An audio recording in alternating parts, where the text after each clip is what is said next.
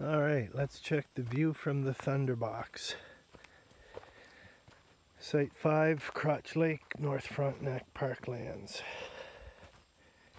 Oh, it used to be here, so it's a freshly moved Thunderbox. It's facing away from the water. So the view is just into the woods. I think they should make them face the water more.